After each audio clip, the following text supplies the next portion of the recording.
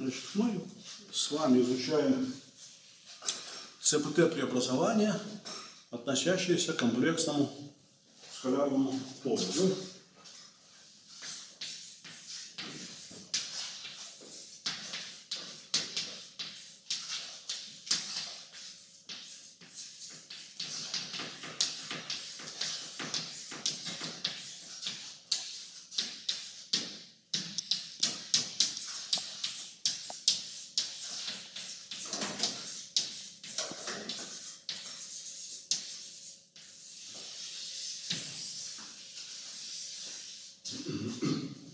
Так, значит, у нас были получены явные выражения для оператора поля. Они включают в себя а, фактически две полевых переменных. Фи и регресс, которая фи не равняется. Все это была сумма по всевозможным импульсам э, от нормировочный множитель, который у нас выглядел таким вот образом.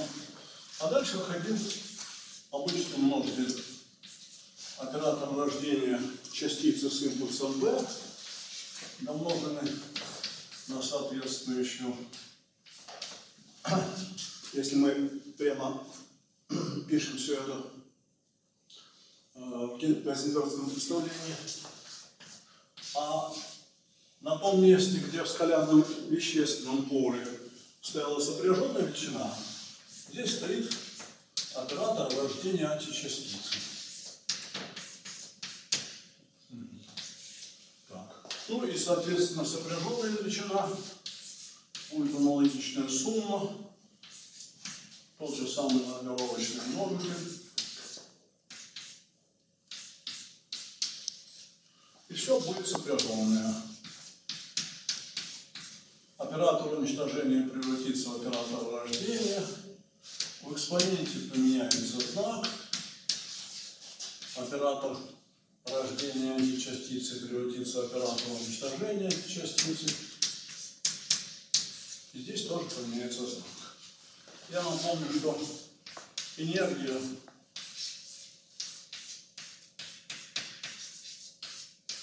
определяется таким выражением. А Px есть выражение, в котором входит произведение энергии на время минус пространственный импульс на радиус вектора. Так, мы в прошлый раз э, успели обсудить с вами С преобразования. Под С преобразованием по определению понималось такое преобразование, при котором частицы превращаются в античастицы. Да? В частности, ну и, то есть, ее можно сформулировать прямо на оператора. Значит, оператор уничтожения частицы превращается в оператор уничтожения античастицы. И наоборот. Ну и оператор, соответственно, рождения.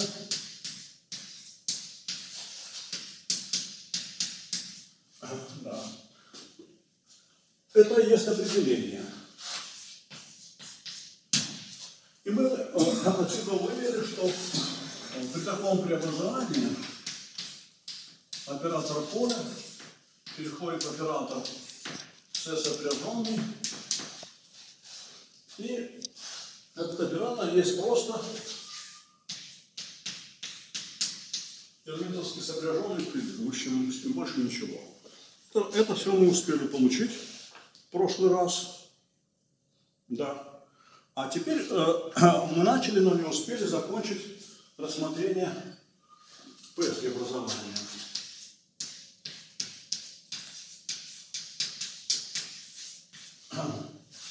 Оно связано с таким преобразованием, при котором Т не меняется, а радиус вектор меняет знак, причем меняет знак все три компоненты. Это принципиальной важности момент, ну, потому что ну, когда меняет знак, скажем, две компоненты, то это можно свести к повороту вокруг третьей. скажем, при изменении знака x и y осей, все это может быть сведено к повороту вокруг оси z на 180 градусов. При этом x и y оси как раз меняют свое направление. А вот отражение трех осей есть отдельная операция, которая никак не может быть получена с помощью каких-либо поворотов. Ну и соответствующий определитель этого линейного преобразования тоже будет отрицательный, в отличие от всех определителей обычного преобразования Лоренца или преобразования вращения. Что при этом должно произойти? Давайте посмотрим. При этом наш оператор фи переходит, а, да, он, я напишу подробнее, есть оператор, зависящий от времени и от координаты в Гейзенгеровском представлении, которое мы сейчас исповедуем. И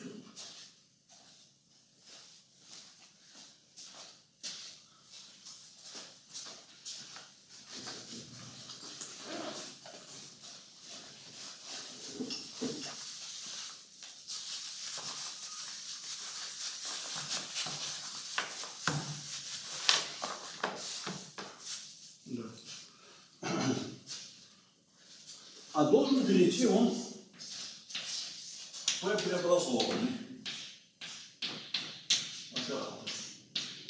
P преобразованный оператор отличается от исходного оператора тем, что в нем изменен знак радиус вектора. Где вообще ставить знак минус здесь или здесь, совершенно все равно, важно только, чтобы они были разные. При таком отражении, вообще говоря, может появиться некоторая фаза. Обзовемте эту величину, которая по модулю должна равняться единице, буква это с индексом большое P.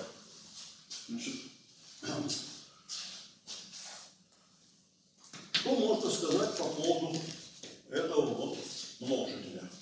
Если я устрою двойное отражение, значит, дополнительно вот эту штуку еще преобразую, то согласно закону я получу это p в квадрате, а с другой стороны фи от тех же самых, что исходные величины. Тут есть тонкий момент, на который я хочу специально обратить внимание, что э, что такое двойное применение операции P. Это значит, мы вернемся к исходному положению. По отношению э, к функции скалярной, это очень простое и четкое выражение.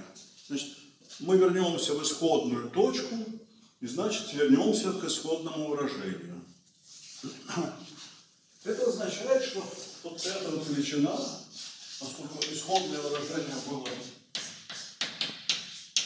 да, вот эта величина должна равняться единице. Отсюда у нас получается общее утверждение, что этот может быть тут плюс или минус единицы. Вот если есть такая возможность, то нужно эти возможности классифицировать. Обычно когда преобразование происходит с знаком плюс, называют, что такое поле скалярное. Когда преобразование происходит со знаком минус, называют такое поле псевдоскалярным. И это в определенном смысле есть вещь, присущая данному полю. Про нее говорят как про внутреннюю четность соответствующих квантов поля то есть соответствующих частиц.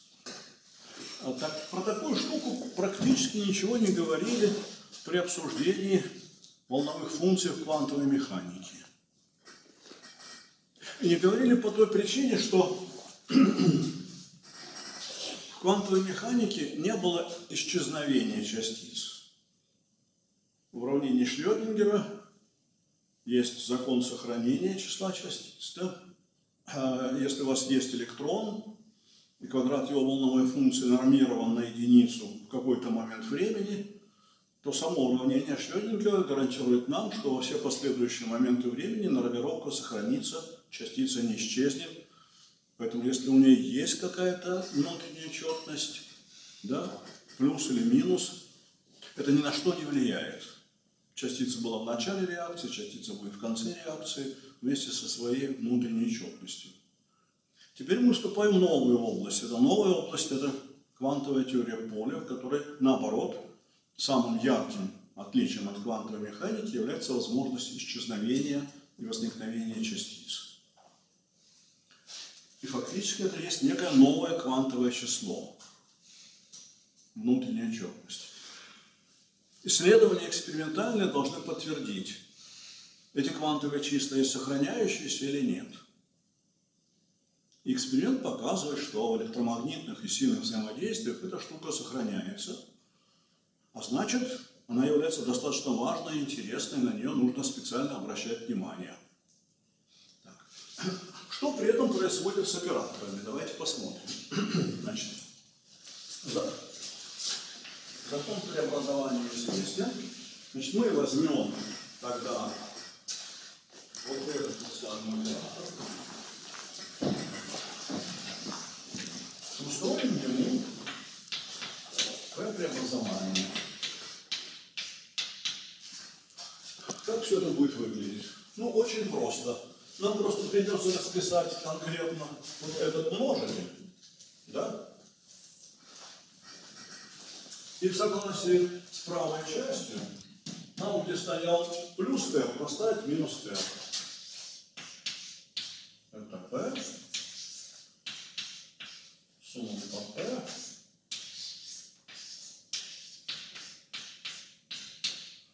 Обращаю ваше внимание, что и это зависит только от модуля, поэтому этот множитель не изменится. А он вообще, извините, вообще пока не касается. Мы же изменяем только m. Экспонента минус i эпсилон p на t плюс p на r. Вот в этом месте я изменил, как и полагается, знак R. Ну и, соответственно, во втором слагаемом будет то же самое.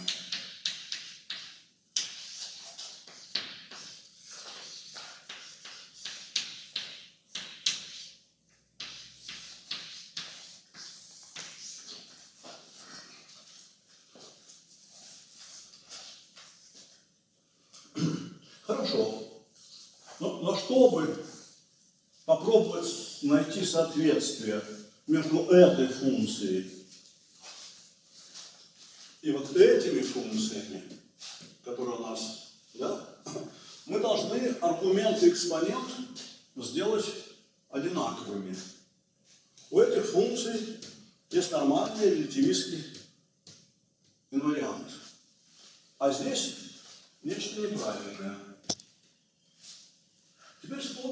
На самом деле у нас по всем P происходит суммирование. Или интегрирование, если мы перейдем к совсем бесконечному объему. Да? Можно проводить суммирование по P, а можно проводить суммирование, например, по P', который равняется минус P. Поскольку и P и P' проявляют один и тот же ряд значений, сумма не изменится. Давайте будем проводить суммирование по P'. Так? Тогда я всюду вместо P должен буду подставить минус P'. А здесь это не повлияет, а здесь это будет существенно другое. Здесь будет минус P'. Здесь будет минус p. Здесь я тоже написать хоть p, p, p штрих, но давайте я для, для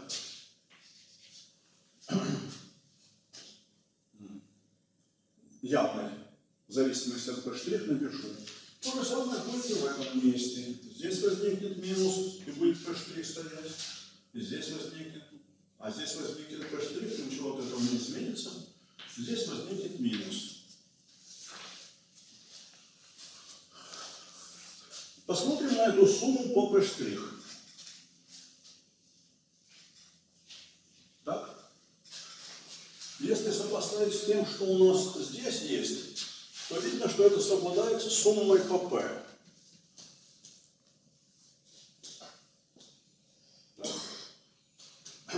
А поскольку P и P' пробегает одинаковый ряд значений, то мы спокойным образом можем взять коэффициент вот этот при такой экспоненте и приравнять ему коэффициенту при совершенно аналогичной экспоненте здесь.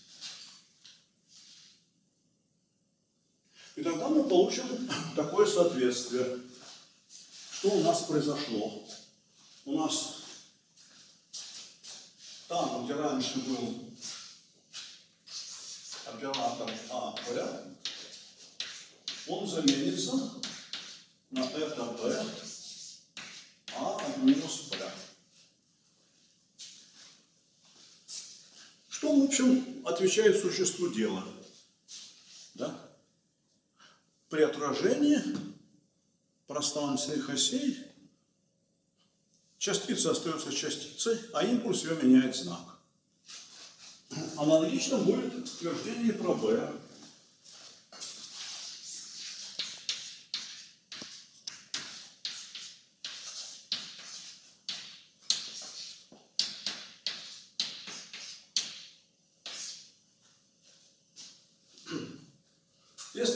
Рассмотрел преобразование не фи, а фи с крестом, то я получил бы относительно утверждения про крещенные величины. То есть А с крестом от P переходит это P на А с крестом от минус P. B без креста от P переходит это P на B без креста от минус P. Я вот все это так тщательно выписал.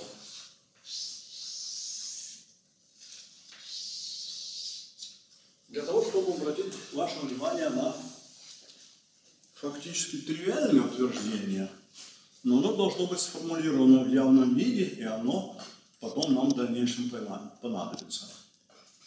Как преобразуются операторы частиц и операторы античастиц для комплексного скалярного поля.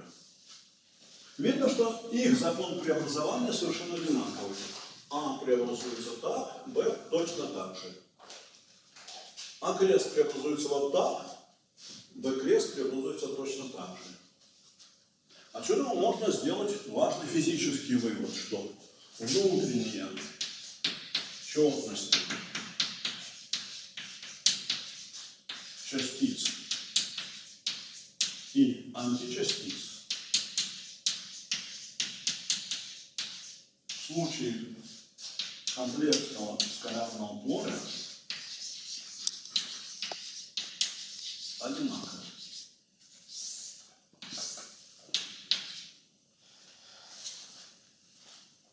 На первый взгляд это кажется тривиальным, но когда мы столкнемся в том, с тем обстоятельством, что для спинорных частиц Дираковского поля это не так, внутренние четности частиц электроны и позитроны прямо противоположны, то это заставит нас вспомнить сформулированное здесь утверждение, и в дальнейшем при учете разнообразных реакций это придется учитывать. Ну хорошо, это мы все получили. Теперь нам бы нужно переходить к следующему преобразованию, Т преобразованию. Но прежде чем это сделать,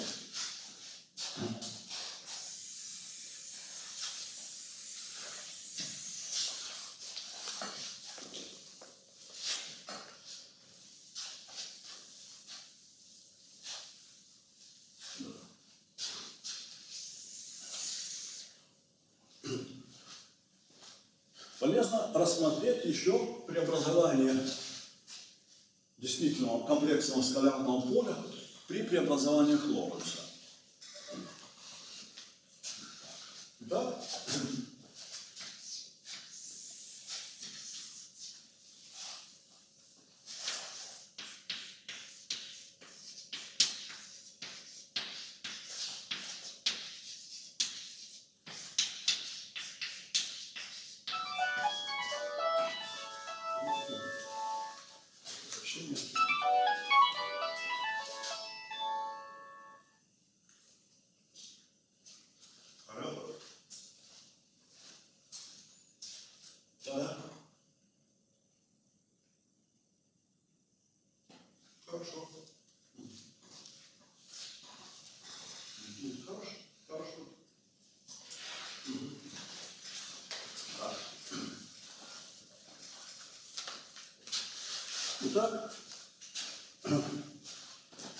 преобразование Лоренца.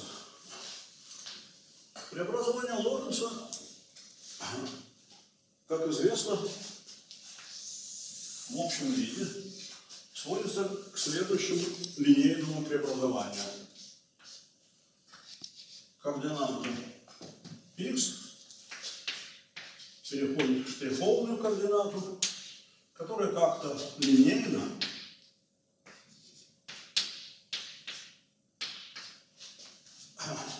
выражается через старые координаты. Эта матрица, давайте мы ее назовем лямбда, чтобы она напоминала Лоренца.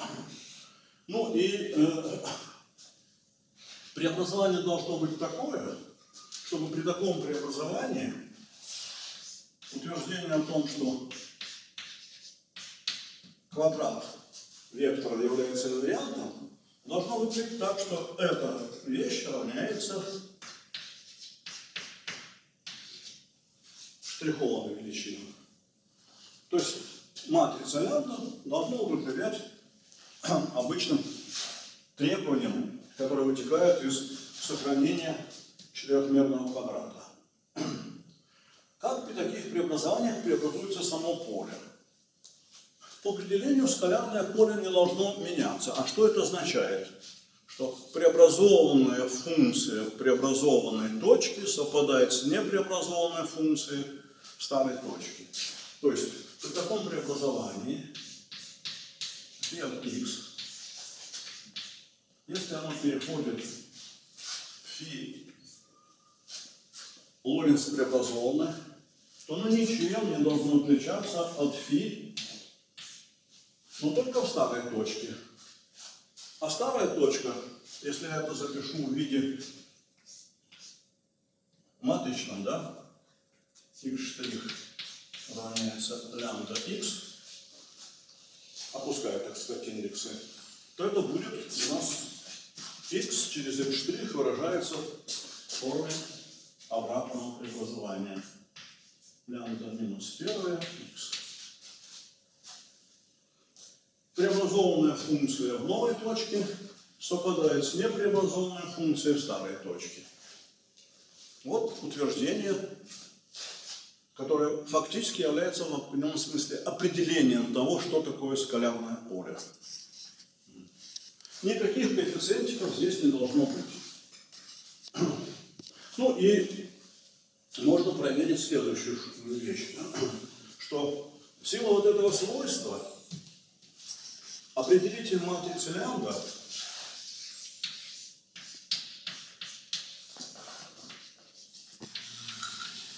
да, не должен меняться при преобразовании.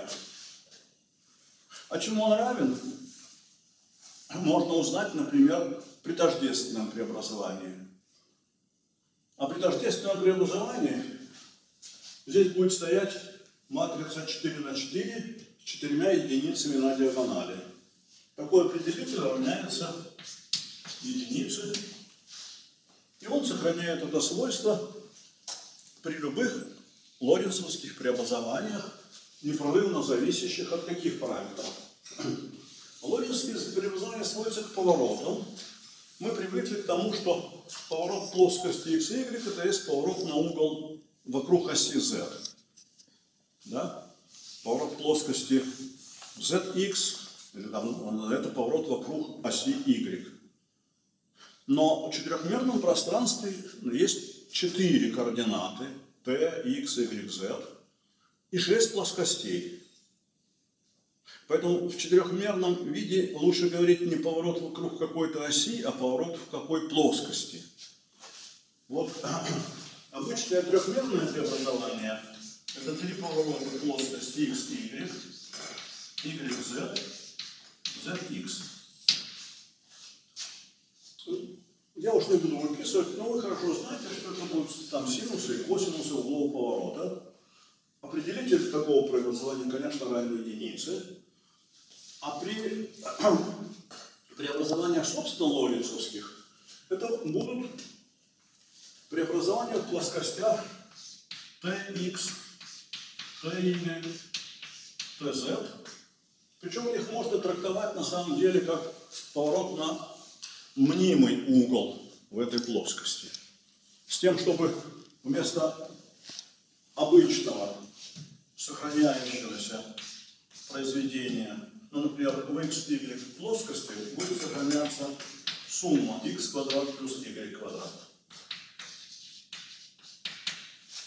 А вот при лоренцовском преобразовании в tx плоскости будет сохраняться лоренцовский инвариант t квадрат минус x квадрат переход отсюда сюда с математической точки зрения можно трактовать как здесь был некий поворот, скажем, на угол фи, а здесь будет некий поворот на угол фи.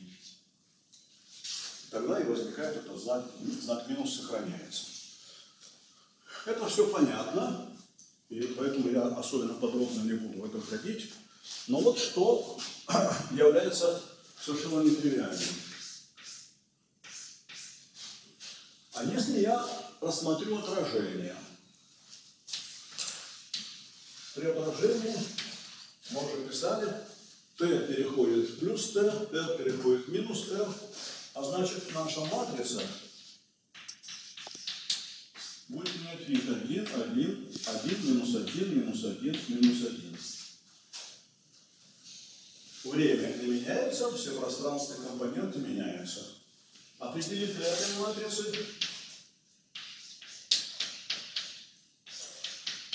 равен минус единице. Это совсем другой класс преобразований, чем обычное преобразование Лоренца.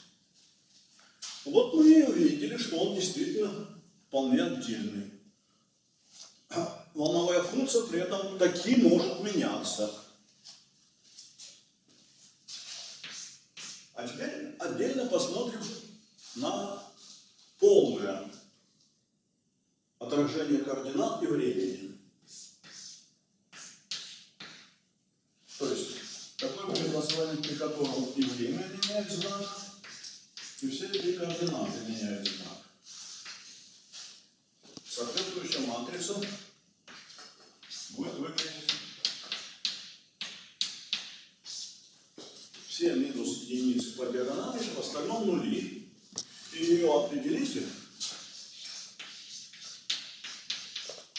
в этом случае будет равняться плюс единице. То есть получается, что отражение координат равно как отражение времени. При отражении времени соответствующая лямбда матрица будет выглядеть так. Ее определитель должен будет равняться минус единицы. Итак, имеются две большие разницы. Да?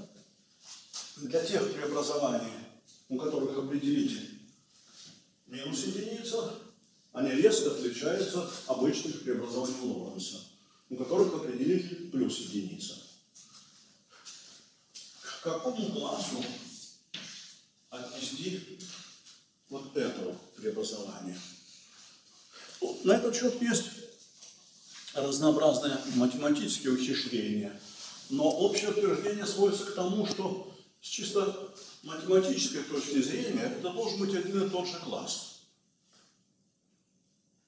А более общей теории можно рассматривать не только обычные преобразования, но преобразования, в которых параметры были бы просто комплексные. То есть гуляние в комплексной плоскости всех шести углов, которые здесь фигурируют. И тогда переход, связанный с этим выражением, это некоторый комплексный поворот, который приводит все-таки к определителю, поворот, да, к определителю равному плюс единице. Все это сводится, конечно, счете к той аргументации, что для P и T полного отражения должно быть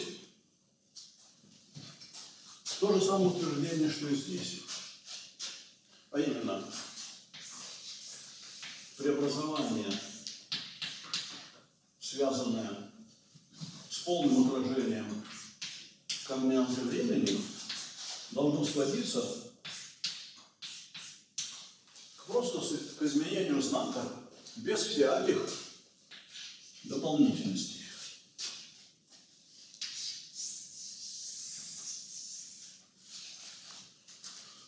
Вот это вот у нас как-то экскурс, необходимый перед тем, как мы начнем заниматься Т-преобразованием. Давайте попробуем разглядеть с этой точки зрения подробнее Т-преобразование.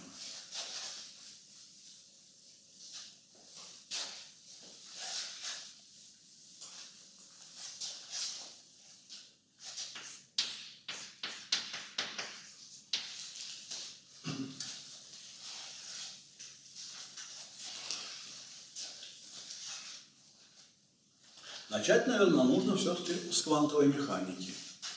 В квантовой механике уравнение Шрёдингера выглядит так. И VC под rt равняется h psi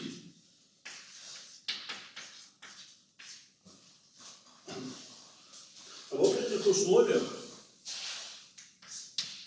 геометриан есть скалярная величина, выглядящая вот таким образом. А для свободных частиц, которых мы сейчас рассматриваем, это вообще будет чистый скаляр. Что произойдет, если мы устроим отражение времени? В правой части ничего не изменится, h останется то же самое. Пси будет от другого аргумента.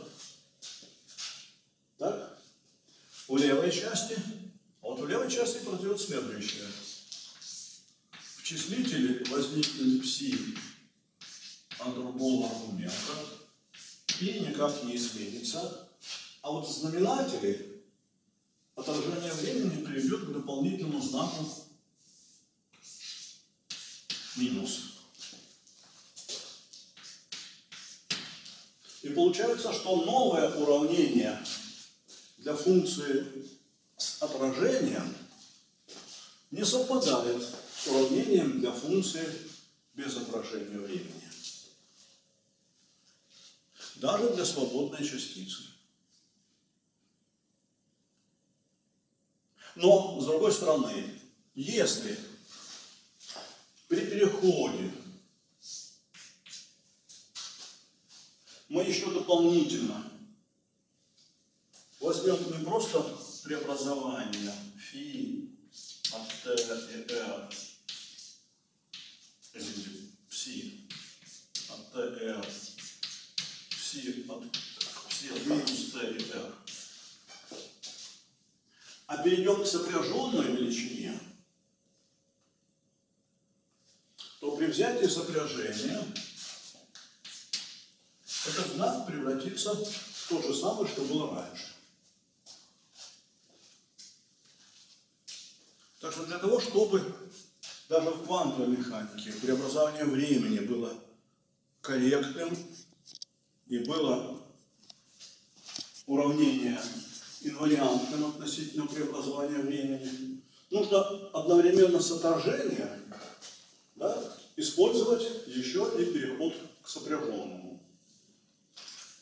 Все это приводит нас к следующей процедуре уже в теории поля.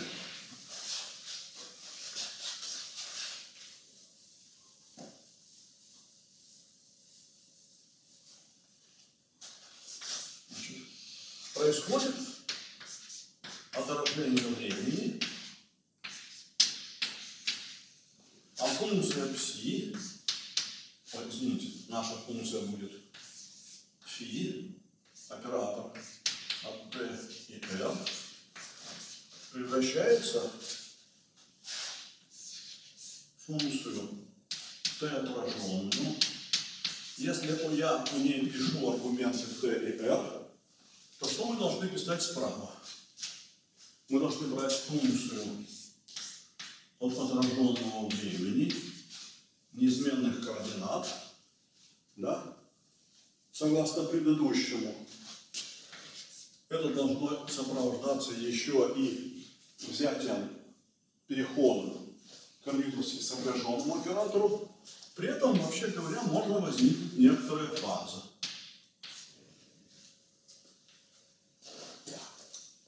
Вот такая вот картинка.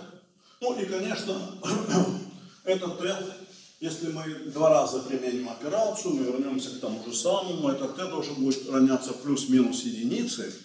Но очень интересно, как этот Т связан со своим родственником, с это П.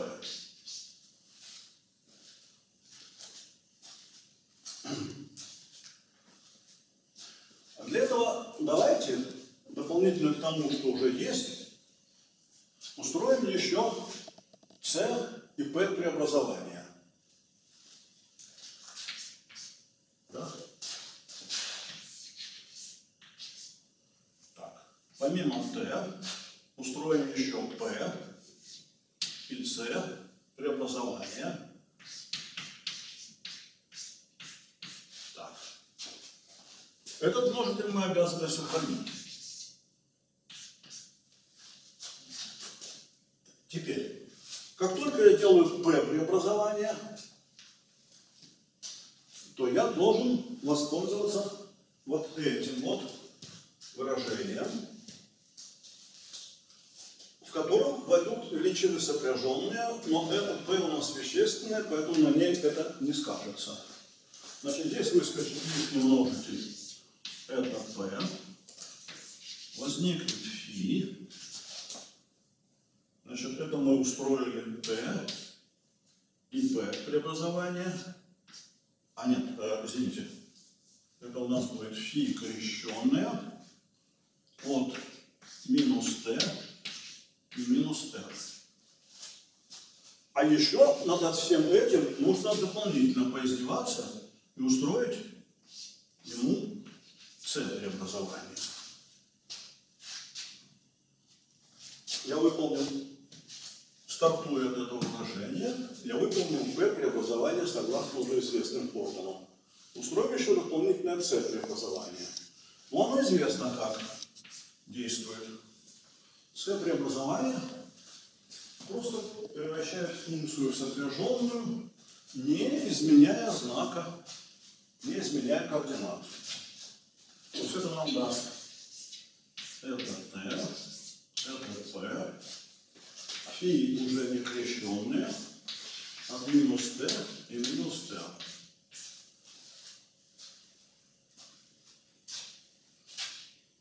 Получилось так, что когда я устрою все этот комплекс преобразований, я просто перейду от x к минус x.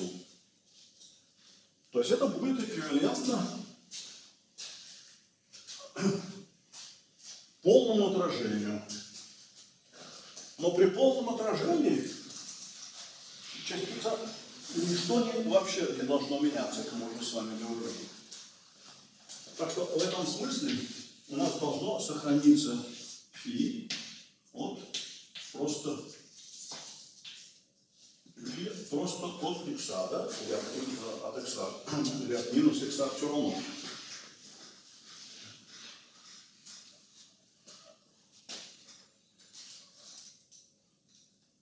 А, точнее, когда все это сделал. Все это приводит к тому, что это может быть произведено если это произведение равняется единице. Значит, получается связь. Не просто это это равняется плюс-минус единице, что можно было бы получить из двойного применения операции t. А еще дополнительно, что произведение это p на это t равняется единице, значит это дополнительно еще связано с таким вот множителем. Вот получилась полная конструкция всевозможных преобразований. А, Все это вещь достаточно новая, э, которая, я еще раз повторю, не была зафиксирована для, или на что не обращалось внимания в рамках обычной квантовой механики, по тем причинам, по которым я говорил. Да? С этой точки зрения очень полезно попробовать самому поупражняться. Я поэтому попрошу вас дома, попробуйте сами посмотреть, как выглядит CPD преобразование для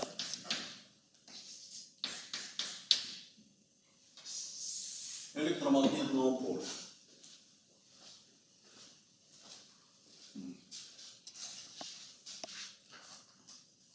И на следующем занятии мы начнем с того, что я вас попрошу кого-нибудь из них, вас рассказать, что такое будет P, что такое T, что такое C, преобразование для электромагнитного поля. На этом этот вот первый наскок на очень важную вещь, связанную с ЦПТ преобразованием, мы закончим.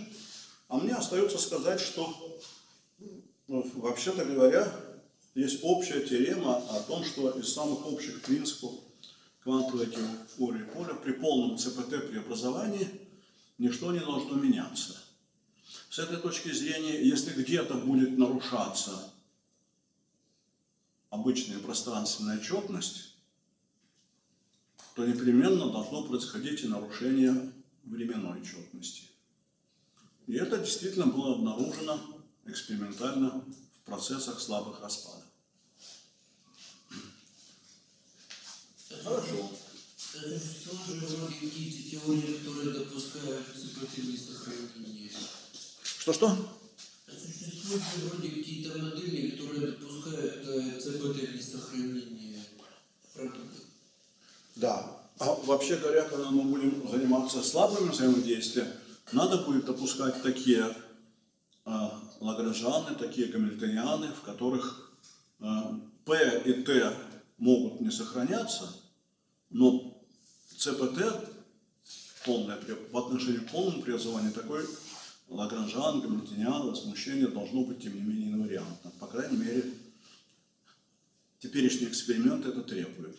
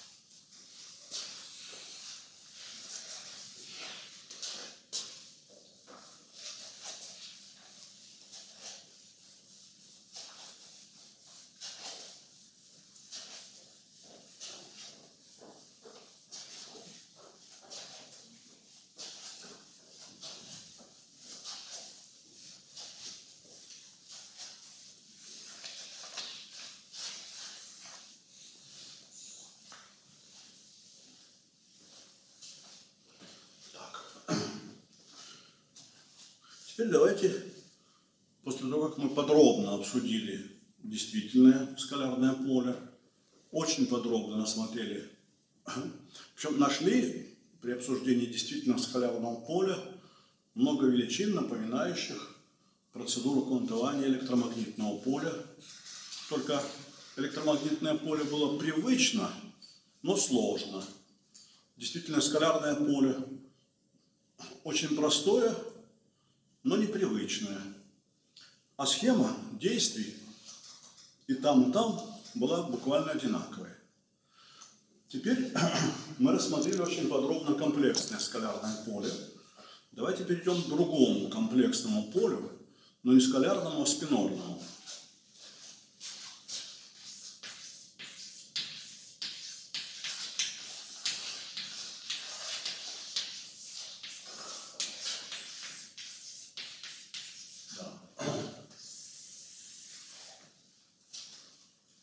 Оно описывает электрон и его античастицу позитрон.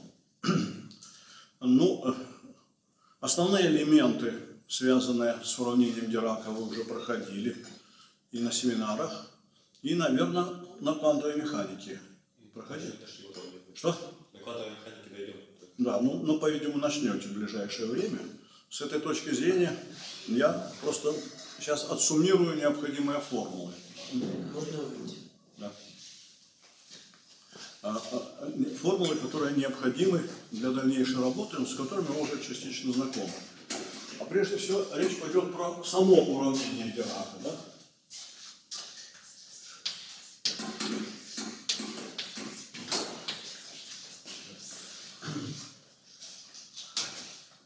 Я вам напомню, что уравнение Клейна Гамброна Хока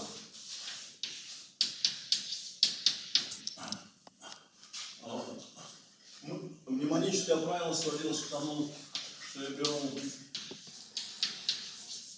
классическое соотношение между четырехимпульсом свободной частицы с массой m, выписываю, что квадрат этого соотношения, квадрат этого четырех вектора равняется как раз квадрату массы, и превращаю его в уравнение на поле и вперед. Это самое поле.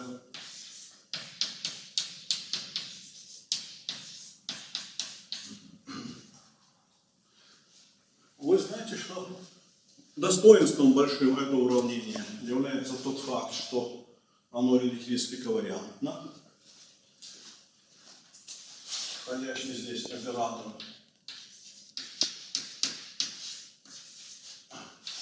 есть четырехвектор. Уравнение входит квадрат этого четырехвектора.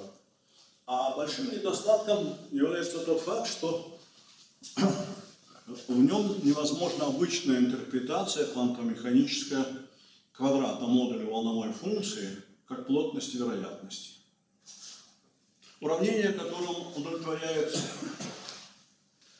требованиям и релятивистской ковариантности, и близкого соответствия с уровнем Шрёдингера, является уравнением, в котором все операторы P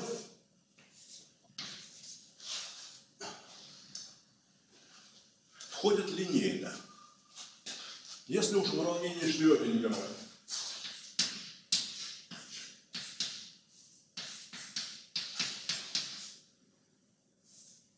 ну, возьмем числовое уравнение.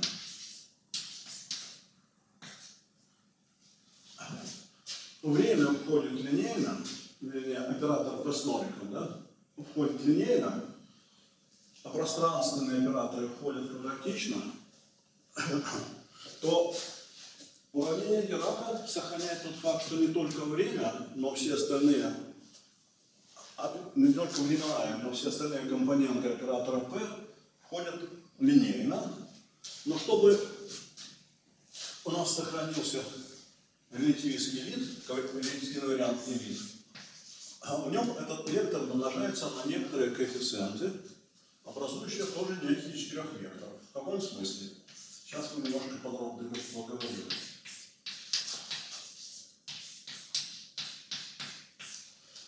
Вот так вот выглядит уравнение Дирака И оно замечательно в том отношении, что все компоненты вектора P выступают равноправным образом. Сами матрицы гамма, которые здесь фигурируют, должны удовлетворять соотношением антикоммутации.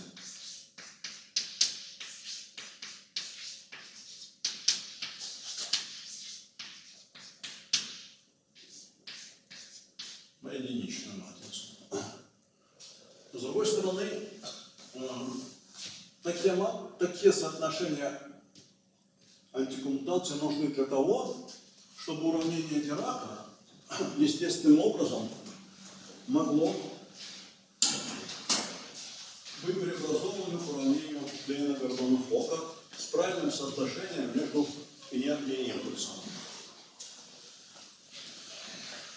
Все это можно организовать только если матрицы гамма наименьшим образом будут 4 на 4. И эти матрицы в стандартном представлении выглядят так. Единичная матрица, двумерная уже будет, да? А пространственная выглядит таким вот образом.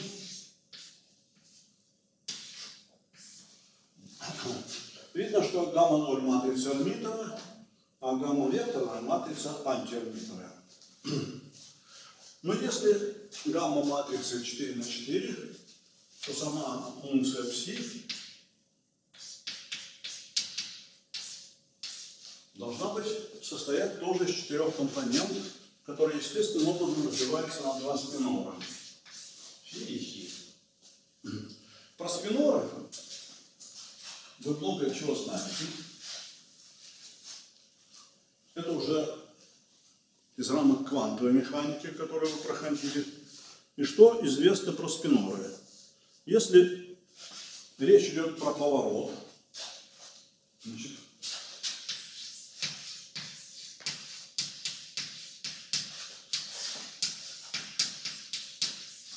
вокруг оси N, да, на угол омега, то при этом двухкомпонентный спинор фи преобразуется таким образом. Он превращается в спинор фи штрих, который от спинора фи отличается линейным преобразованием. Это линейное преобразование задается матрицей такого сорта. И сигма n омега пополам. А если разложить экспоненту в ряд и учесть, что сигма n в четной степени это единичная матрица, а сигма n в нечетной степени совпадает просто с сигма n, то тогда все это сведется косинусу омега пополам плюс и сигма n на синус омега пополам. Ну и аналогичное преобразование будет, здесь я сказал, что есть два спинора, фи и фи. Аналогичное преобразование будет для хи.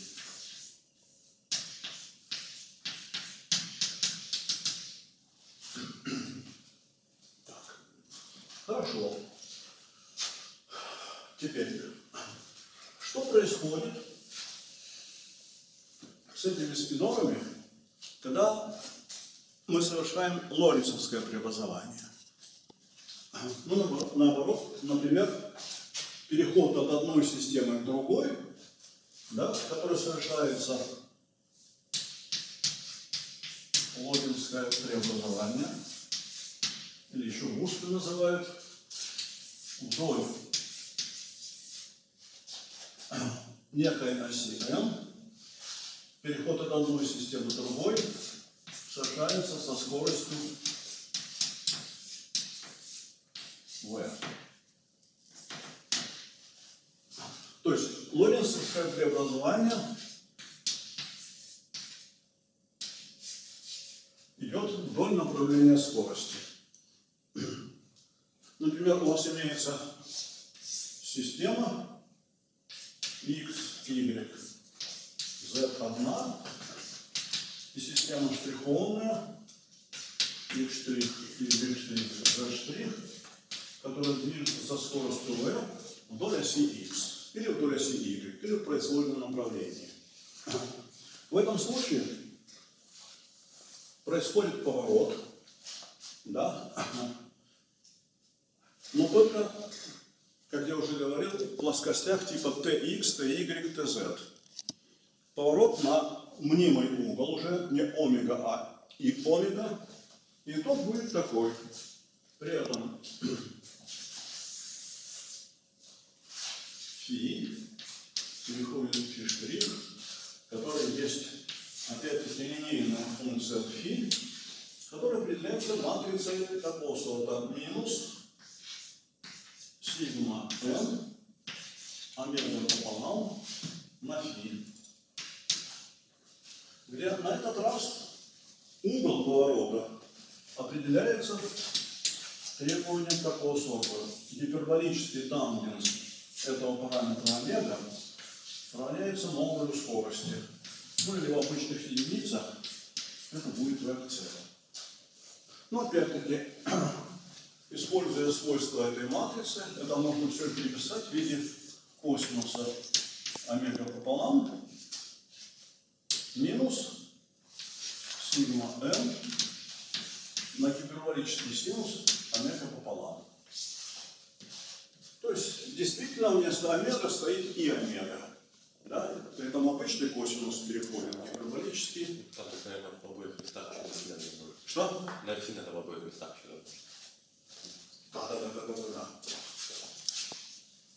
Это сам, сама матрица, а все это еще нужно помножить на фи. Это сама матрица, все это нужно. Мгм. Ну и аналогичное преобразование должно быть для хи.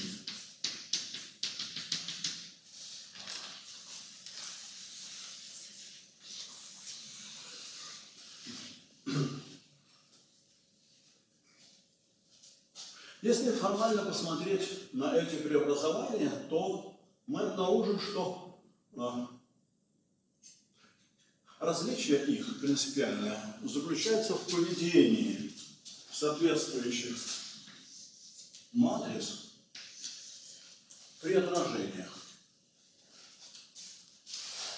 Давайте рассудим. По своим свойствам спин аналогичен обычному орбитальному моменту. Обычный квантомеханический, так сказать, даже классический момент – это есть векторное произведение R на P. Ну, объясни, где вектор. Так, поэтому и R, об- об- нормальный вектор при отражении он меняет знак, и P, тоже нормальный вектор при отражении он читает, меняет знак. А M, псевдовектор, при отражении он знак не меняет. К этому же семейству относится и спин как внутренний момент импульса. Замечательно. Что такое ось n в этом случае? Обычно ось вращения есть тоже псевдовектор, обычно, если это обычная ось вращения. Если псевдовектор, то при не меняется ни сигма, ни n, и этот матрица или этот оператор при отражениях тоже в целом не меняется. Совсем другая ситуация имеет место для бустов, для лоренцевского преобразования. Сигма по- по-прежнему ведет себя как псевдовектор, а n в данном случае это направление вектора скорости, то есть по своим свойствам здешняя n совпадает со свойствами скорости. Скорость, как и импульс, обычный вектор. Меняет знак. Таким образом, получается, что, вообще-то говоря, при этих вот преобразованиях поведение спиноров становится различным. Тогда встает вопрос еще дополнительно о том, а как себя ведут сами спиноры при отражениях? Опять же, это все проходилось, да, и а, при отражениях фи переходит p, которая равняется просто это на фи. И вот э, чему может равняться это? Давайте попробуем сообразить. В отличие от того, что делалось до того, в случае со скалярным полем, здесь возникают новые хитрые возможности. Устроим двойное отражение. Да? Следующее.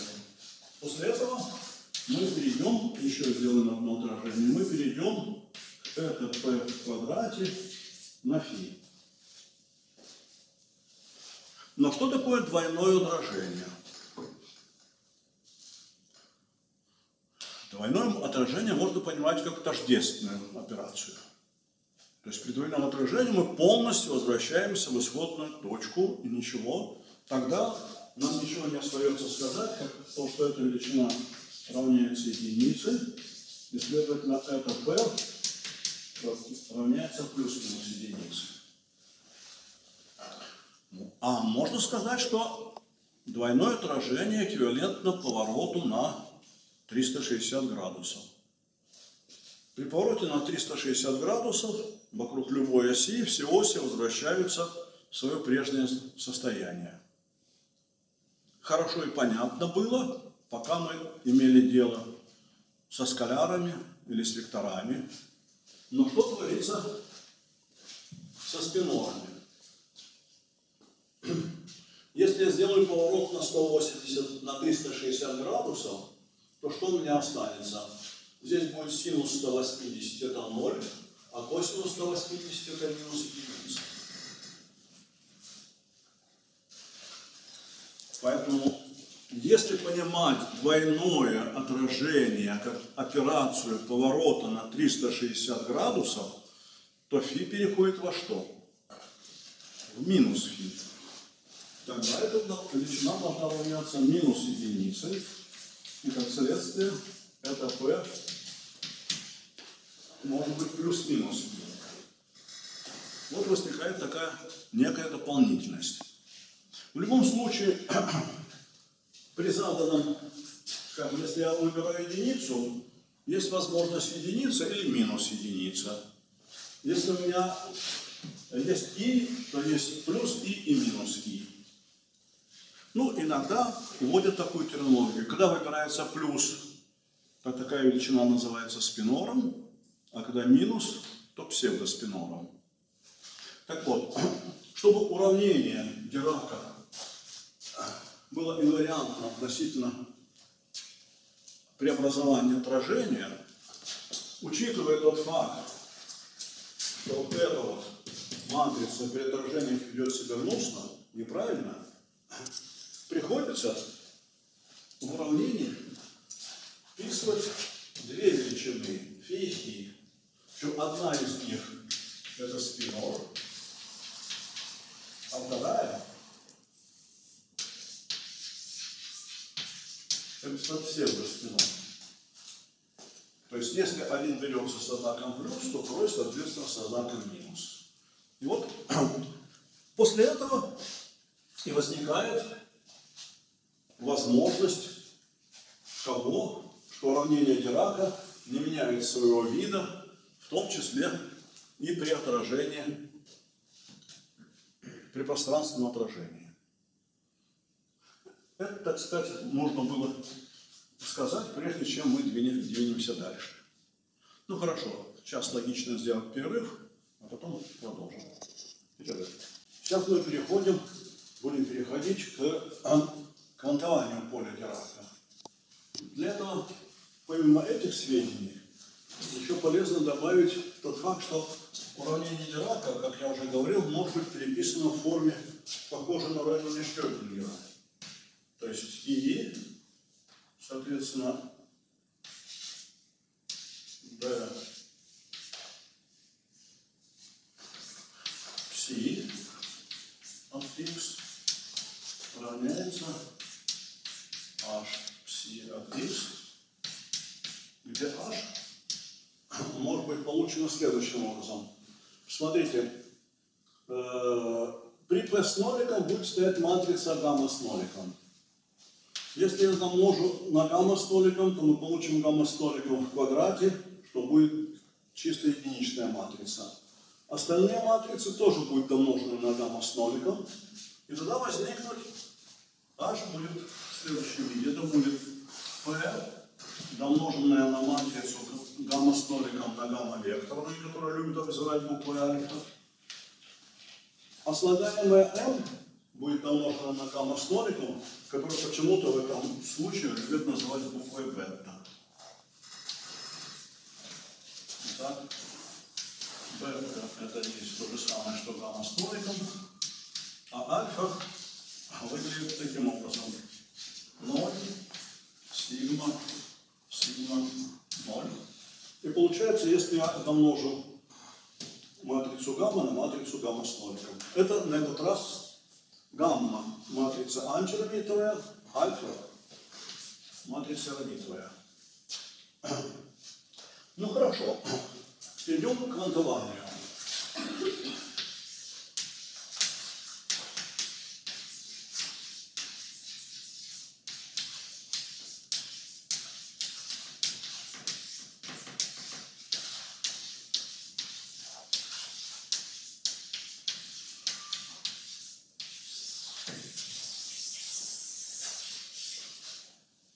А здесь есть элементы, которые повторяют то, что мы знаем из области э, комплексного скалярного поля. И есть новые элементы. Поэтому есть кусочек, который мы можем проскочить быстро, есть кусочек, который мы должны будем во всех деталях посмотреть. Быстро это сведется к следующему. Когда мы выписываем уравнение Клейна-Фока-Гордона, для действительно скалярного поля, то в качестве решения двух мы получили плоские волны такого типа. e в степени минус и p на x на корень из двух эпсилон p на объем. Это решение соответствует чему?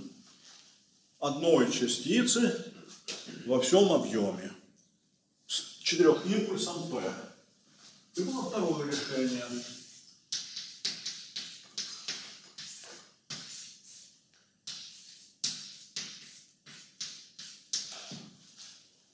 Независимо от первого, извините, знак, да? Оно тоже соответствовало одной частице во всем объеме. Приложение оператора по этим функциям, нормированным на одну частицу во всем объеме, мы получали в качестве коэффициента разложения оператора рождения частицы и античастицы. Поскольку дерковская функция тоже комплексная, то все это должно сохраниться. То есть, когда мы начнем пси, на этот раз разлагать по этим самым а что-то тут у меня, по этим самым плоским волнам, то мы должны будем получить в качестве коэффициентов операторы уничтожения частицы и рождения античастицы. В этом случае одни из них называются электронами частицы, а античастицы позитронами. Но, что хочется дальше подчеркнуть? В чем будет принципиальное отличие комплексного скалярного поля от комплексного спинорного поля. Комплексное скалярное поле было однокомпонентной функцией. Это было два, две независимых плоских волны. С другой стороны, поле Дирака, как вы помните, я где это я тут выписывал,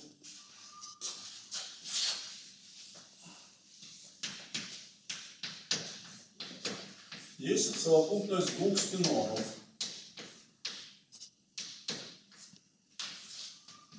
Точнее, спинора и псевдоспинора. Его еще называют биспинор Дирака. Это четырехкомпонентная величина. И потому мы должны иметь не, не две плоские волны, Да? А вообще говоря, четыре плоских волны. Чем они отличаются? Каждая из плоских волн будет отвечать соответствующей энергии импульсу, но кроме того, возникает еще и спин. Описание спина будет происходить с помощью как раз биспиноров Дирака. То есть помимо такого вот скалярного выражения для плоской волны, здесь войдет биспинор, который тоже будет состоять из двух спиноров. Он будет зависеть от импульса P и от поляризации. В качестве состояния можно брать либо состояние электрона в его системе покоя со спином вдоль оси Z и против оси Z, где ось Z нами произвольно выбрана. Или это могут быть спиральности, то есть проекция спина электрона на направление движения. Здесь будет своя соответствующая коэффициентная функция, которую любят называть буквой V. Значит, это описание частицы с данным импульсом и данным спином. Это описание античастицы с данным импульсом и данным спином. Все, что теперь, как усложнится наша жизнь, каждая плоская волна будет умножаться на соответствующий коэффициенте. И будет производиться суммирование по всем возможным спиральностям. Оператор рождения частицы будет классифицироваться не только импульсом, но и соответствующим спиновым состоянием. Итого будет, вообще говоря, 4 коэффициентика при данном P. А от P при сигма, скажем, плюс 1 вторая, и А от P при сигма минус 1 вторая. То же самое для P. В качестве сопряженной величины мы могли бы взять просто то же самое, только здесь будет стоять, соответственно, U от P сигма сопряженная, ну а здесь, соответственно, V от P сигма. Суммирование происходит по сигма, операторы рождения и уничтожения будут нести этот знак. Вот все, что при этом возникнет. Единственное дополнительное отличие связано еще вот с чем.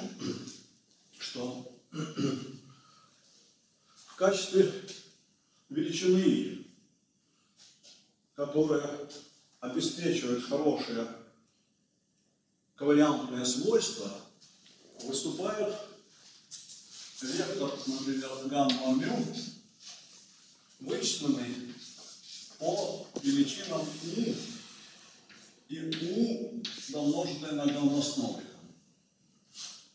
Вот такая вот величина ведет себя как 4 вектора.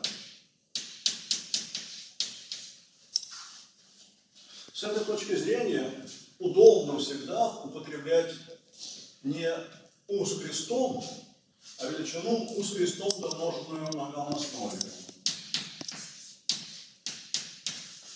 Обзовем эту величину гирковски сопряженной. Ну и, соответственно, сама функция от x с крестом, домноженная на гамма-основе там слева, обзывается гирковски сопряженной. Поэтому в качестве двух разных четырехкомпонентных величин употребляется не пси, пси с крестом, а пси и пси дерговски сопряженные. То есть все это домножается на гамма с ноликом и превращается вот в такие вот величины. Величины У и В и У дерговски сопряженные и В дерговски сопряженные подвергают определенным уравнениям. Все детали вы можете прочитать вот в конспекте лекции. Есть приложение. Да? А, Как раз приложение, связанное со свойствами, где подробно рассказывается про свойства Это можно значит, прочитать, соответственно. Приложение, которое называется C и F.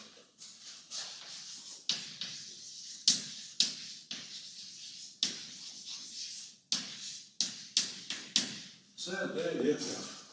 Там довольно подробно, а главное в той нумеровке, которая нас интересует, рассказано про свойства вот этих плоских волн. Они обладают обычными свойствами, они определенным образом нормированы, определенным образом э, взаимно ортогональны. Сейчас эти свойства мы попробуем вспомнить. Для начала же Давайте, то есть эта вещь, как я уже говорил, мы сделали довольно быстро. А вот следующий этап будет совершенно нетривиальный. Попробуем его рассмотреть более подробно. Так, мы а, переходили к процедуре квантования. Даже к выбору вот этого формировочного модуля. Мы говорили, что мы организуем энергию, которая будет плотность энергии на Т3R по всему объему. Да?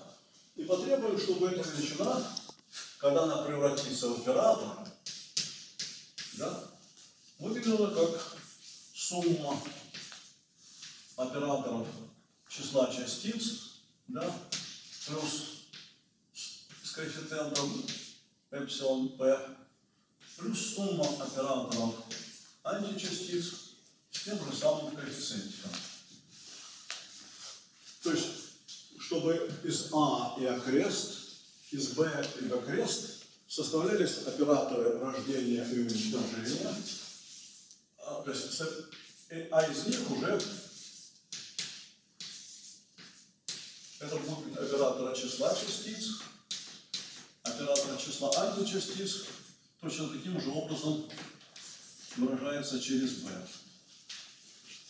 У нас осцилляторов много, поэтому каждый осциллятор был осциллятор, характеризующийся своим импульсом. Что должно измениться в нашем случае? У нас дополнительно еще возникнет осцилляторы не только с разным импульсом, но и с разной поляризацией, да? Так. Давайте будем это отслеживать.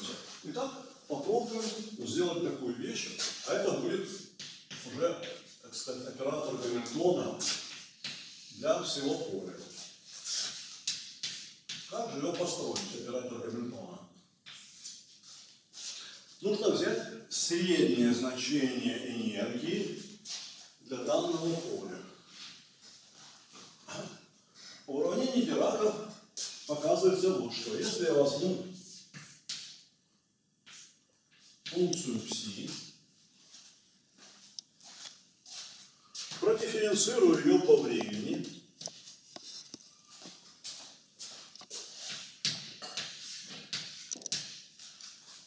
так, то я получу энергию одной частицы.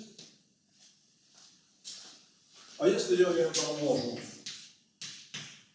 на крещенную величину,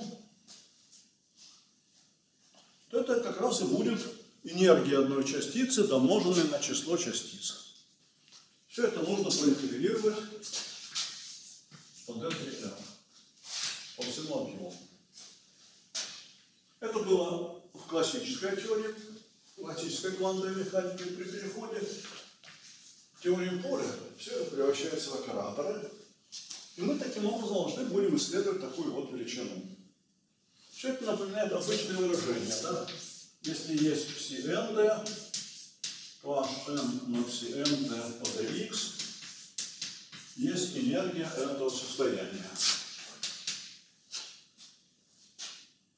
В качестве h мы выбрали равный ему оператор. В качестве h выбрали и это производное по времени. Давайте будем делать это. И на этот раз нам придется быть очень скрупулезным. У нас будет две функции, а потому возникнет две суммы. Так. Чтобы нам удобнее было разбираться, давайте мы сюда вставим единицу, точнее единичную матрицу, которую я могу представить как произведение гамма-столиком на гамма-столиком. Это чистая единица. И тогда у нас получится вот что. Гамма-столиком на гамма-столиком. Все с крестом, но и гамма-столиком это не что иное, как пси герцогски сопряженное. И останется выражение гамма с ноликом на и дельта с ноликом. Вот такую вот штуку мы должны проинтегрировать. Есть явное выражение. Возникнет сумма. Если я для пси возьму сумму по p и по сигма, то для пси сопряженного я должен буду брать сумму по каким-то другим индексам, да?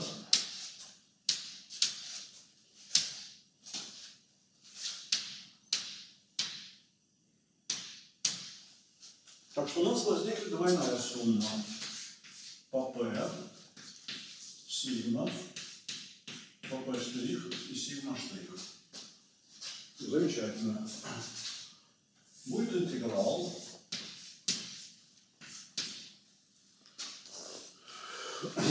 Мы начнем с этой суммы. Эта сумма будет совершенно спокойная. С эпсилон p' на v. Так. И будет входить все то, что написано здесь. Я просто должен буду это честно переписать. Это будет U с крестом от P' сигма штрих на e в степени p штрих x от p штрих сигма штрих с крестом плюс v а подождите, я же, я же пишу что? Ну да, правильно, я пишу первый сомножитель пси герцогски сопряженная v с крестом Дальше входит экспонента с другим знаком. И на b без креста. Так. Это все честно и просто. Дальше должен буду поставить гамма с ноликом.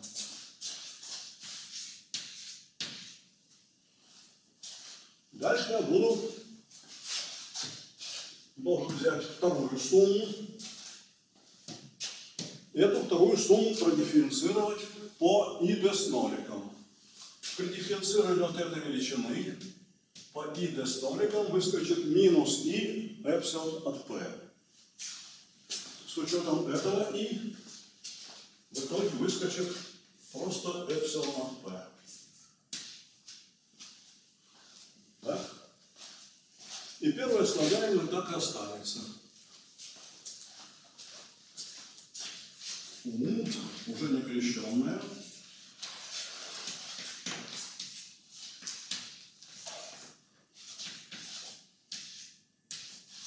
А второе слагаемое имеет в экспоненте другой знак. Поэтому если я вынесу эпсилон, то там должен быть знак минус. Это вещь принципиально важная, поэтому вы на обращайте внимание.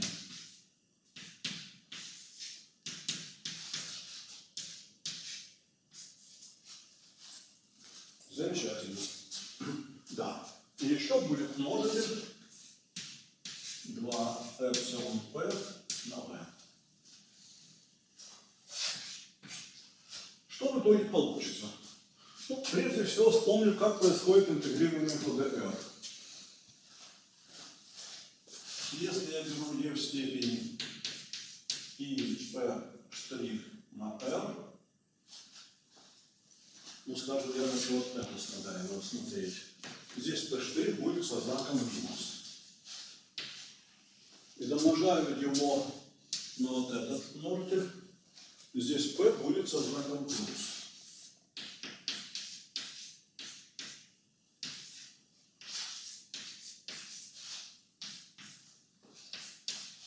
Если p равняется p штриху, то под знаком интеграла стоит единица, и интеграл даст v. Просто объем.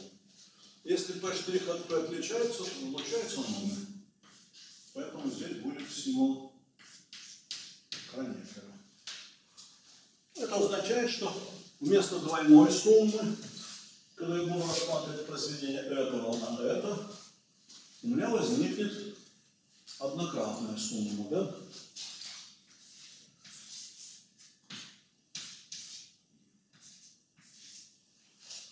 Как же она будет выглядеть? Она будет выглядеть так. У гамма с ноликом. У. Да. Во-первых, выскочит общий множитель эпсилон p и общий множитель равный объем, который я вообще вынесу за скобку. Дальше будет эпсилон p домноженное на что? На а с крестом от p сигма, поскольку p равняется p. А, а еще, а еще, прошу прощения, по сигма и сигма штрих у нас продолжается неизвестная величина. Так, а с крестом на а, на просто а, от того же p, но другого сигма. И будем хотеть такой множитель. У от p сигма штрих гамма с на у от p сигма. Вроде бы я все честно переписал, да? Так. Теперь возьмем другой. Другую пару, связанную с b. Вот этому экспоненту и вот этому экспоненту. То здесь тоже знаки различаются, так что ответ будет точно такой же, но вот что принципиально важно для всего дальнейшего, знак теперь будет совсем-совсем другой. И это будет вопрос, над которым мы должны будем задуматься. А так все остальное честно переписывается. Да. Тот же самый. Эпсилон от p войдет, войдет b без креста. От того же b но сигма штрих на а крестом от того же b но сигма. И дальше будет v v от p штрих сигма штрих. P штрих превратится в p но сигма штрих останется. Будет данным от p сигма Так. Будут, конечно, еще перекрестные слагаемые, но я на них даже не буду обращать внимания, потому что вы помните, что они дают неисчезающую зависимость от времени, и поэтому должны друг друга сократить. Посмотрим вот на то, что получили. Плюс то, что на самом деле должно превратиться в ноль. Вот по поводу этой вот этого слагаемого, значит, при решении уравнения Дирака доказывается, что это величины взаимно ортогональные, если сигмы различаются. А вот в качестве коэффициента, если сигма одинаковые, входит величина 2 эпсилон бета. Я сейчас проверю все коэффициентики. Да, все так и есть. И абсолютно то же самое будет иметь место и для этого. Здесь тоже сигма и сигма сокращаются, и тоже стоит коэффициентик 2 эпсилон b. Таким образом, в итоге все сведется к сумме только по сигма. Так. Возникнет дополнительный коэффициентик двойка. Так. И дополнительный коэффициентик двойка, и дополнительный коэффициентик эпсилон b. После чего я эту штуку рядом могу сократить.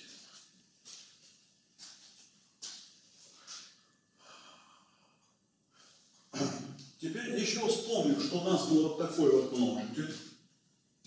Был он, а я его не записал.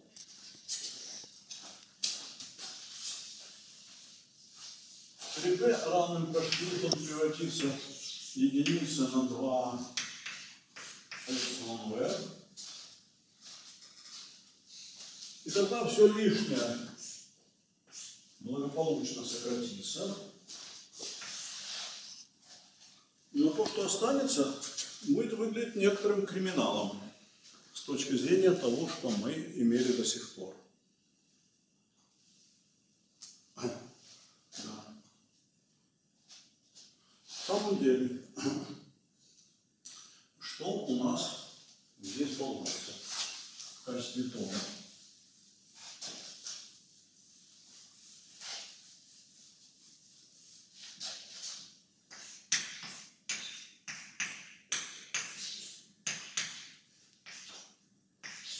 Спасибо. Эпсилон P. Вот эту величину,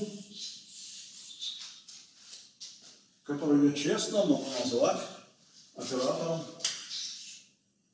рождения частицы с импульсом P и спиральностью и поляризация сигма.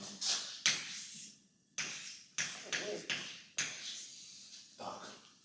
Это все хорошо и правильно. Но что такое второе слагаемое? Во втором слагаемом, а, извините, здесь, конечно, B. Слагаемом все неправильно. Да? Если бы мы провозгласили, что мы будем пользоваться правилами такими же, как до сих пор. То есть квантование сводилось бы к тому, что мы ввели вот, так же, как и раньше.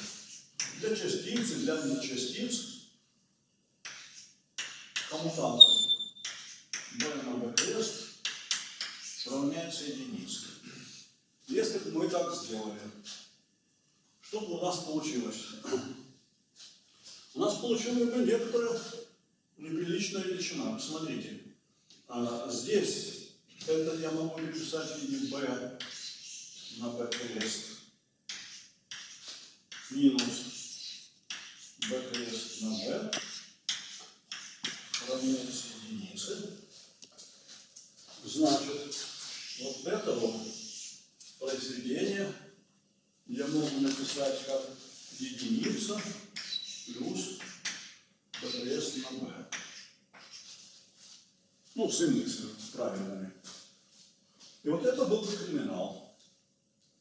Потому что я после этого я вынужден буду назвать эту величину оператором числа античастиц, а входит он в сумму, да, а входит он сумму со знаком минус. И что это будет за система, в которой нет нижнего состояния? Потому что если я увеличиваю число античастиц, то энергия становится все ниже и ниже и ниже, и предела этому нет. Так что кантовать это поле так, как мы делали до сих пор, вообще преступно. В том смысле, что мы получим бессмысленные ответы. Значит, нужно искать другой вариант. Другой вариант Давайте мы будем колдовать покерные дела. То есть возьмем антикоммутатор этих величин равняется единице. Тогда все будет красиво и хорошо. Здесь возникнет знак минус. Здесь у нас добавится эпсилон p на вот эту величину. b p сигма, p сигма. Это будет число античастиц.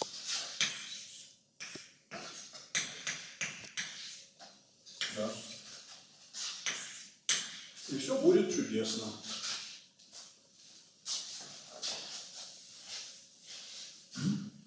Так что мы вынуждены будем признать, что в этом случае для поля со спином 1 вторая правильная будет статистика Ферми-Дирака. Так. Хорошо. Ну ладно. На этом мы закончим. Нам осталось для полного счастья рассмотреть еще и другие величины, которые здесь есть физические. Импульс.